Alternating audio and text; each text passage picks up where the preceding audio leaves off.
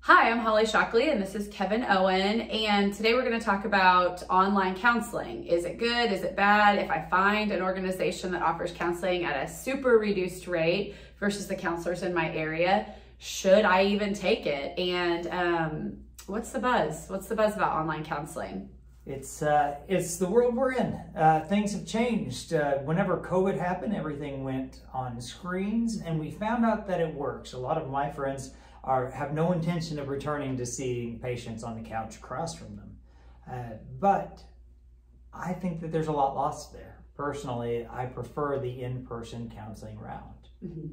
Yeah, there's a, um, a neuropsychiatrist, Curt Thompson, my favorite, and he does um, a lot with interpersonal neurobiology. And he says when you're in the room with somebody, there's actually mirror neurons firing in our brains between one another that's shaping our brains because of the interaction.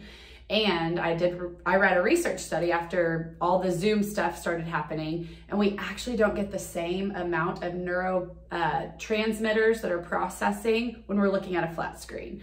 So I do think there's a value. Some of my clients who aren't feeling well or they overbooked themselves that day, they'll ask to jump on a, an online session and it's no big deal. But the majority of our interaction with one another is on the couch and face to face, which I think is a high value of, uh, well, the society that we live in, we need more of it. And so it's a high value of in person counseling. It's uh, like we were created for relationship or something.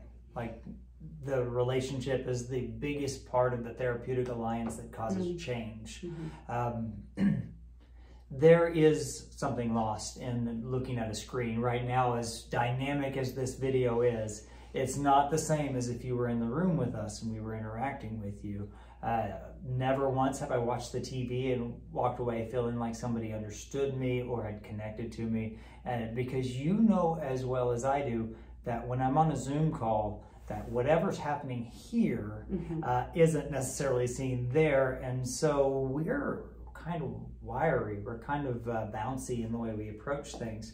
How much would you say comparatively you're giving to the screen versus what you're giving to the person you're in a room with? And it should be a higher amount. Yeah, I think, you know, whenever we have screens that we're doing counseling on, it impedes my ability as a counselor to read nonverbals um, because people's hands can be down here and I never see what's happening. Their legs can be tapping and shaking and they're anxious or they've talked about something that is, you know, a trigger for them and I will never get to see what the rest of their body's doing. So I feel like um, to get the whole, um, the whole process through counseling, I need to be in person with my clients. So there's a high value of that in the work that I do. There's a, I see a lot of teenagers and the cool thing about teenagers today is they can be in a, in a group chat, they can be getting snaps, they can be getting messages on their Instagram or their, their TikTok, they could be tweeting, uh, that's past tense of tweeting.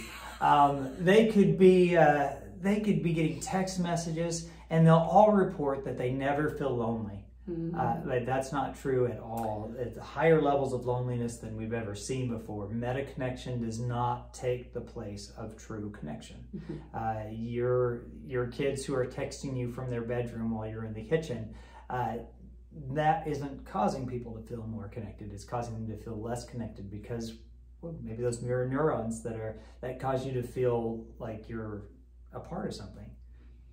Yeah. And so if you want to come to in-person counseling and you would like to process what that even looks like, you can call Kevon or I at Holly at Thrive Christian Counseling. We'd love to work with you. There's, uh, I'm going to jump in because yeah. I, I, do want to be very clear. If you have to do uh, video screen counseling, do it. It's better than not doing mm-hmm. counseling. Mm-hmm, that's true. Uh, but it's not better than not getting counseling at all.